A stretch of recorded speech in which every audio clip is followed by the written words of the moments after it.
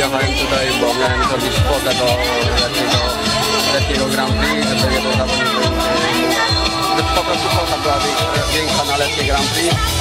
No i udało mi się, zadanie wykonałem w 100%. Bardzo się cieszę z tego, że tak fajnie tutaj mi skakał.